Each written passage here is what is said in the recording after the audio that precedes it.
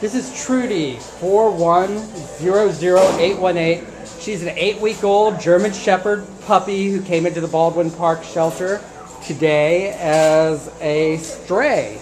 On uh, today is March 23rd. Weighs about eight pounds, incredibly cute, incredibly friendly, and we're gonna pull her as fast as we can.